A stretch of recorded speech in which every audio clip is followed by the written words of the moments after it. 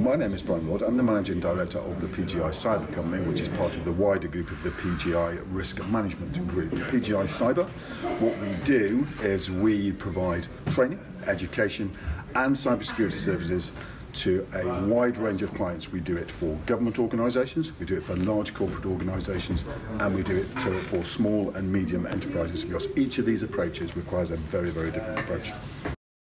We actually try not to have a artificial or almost uh, algorithmic definition of a SME. Um, what I prefer to look at is organisations who are small, uh, both in terms of resource, in terms of time and an organisation that has to perpetually manage and juggle a number of business risks um, at the same time and require fast, dynamic and generally commoditised services to help them mitigate that risk. Digital security needs to be a relative priority for SMEs. Um, I know from running a small to medium enterprise you are balancing all the time different risks and different threats. Um, what small to medium enterprises have to recognize they have to do something about what is simply a modern 21st century threat, but not to, to the extent where they are spending a disproportionate amount of time F and um, effort in solving it.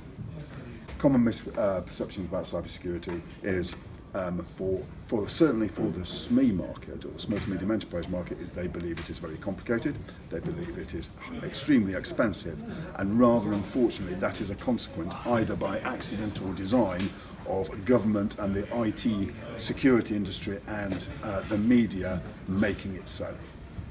Um, the, from the vast majority, not all, but the vast majority of the criminal risks are what we consider to be drive-by criminals. These are um, organisations who system systemically go after small to medium enterprises because they recognise the defences are lower, so it tends to be quite sector agnostic um, and will um, either uh, deploy hostile ransomware on their systems or steal data for onward sale.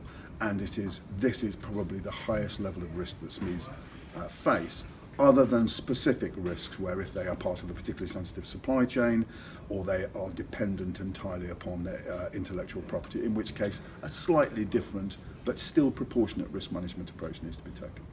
What these offer SMEs is a blended set of, of, of, of products and services. First of all, they are affordable and they are, they are designed specifically to manage the nature of the threat that most small to medium enterprises uh, face, which is small batches of education, basic security measures, basic control measures, um, all incredibly affordable. And if those are, those are adopted, they will reduce, re, uh, they will remove the majority of cyber risk for most SMEs, and it's done quickly, easily, and in line with the way most SMEs um, um, balance threat, balance threat management. Generally, what's available in the marketplace, the marketplace has been built around a number of things. It's been built around large corporates buying large packages of very expensive products. No other company, I think, focuses on the problems that small to medium enterprises have in running a, uh, in running a, a, a small business, which is managing a risk, uh, properly, quickly, effectively. To most organisations in the marketplace, they're not interested in those clients because they think they aren't worth enough money from a PGI point of view. And this, I think, comes from my and, and the organisation's very strong public service background is actually we have a responsibility to help these organisations. In 2017, I want small to medium enterprises to look at PGI and say, this is the organisation we go to. They understand our risk. They don't try and exploit us. They give us an affordable, manageable service. They're trustworthy, they're reliable, and they genuinely understand some of the issues with that, that we face.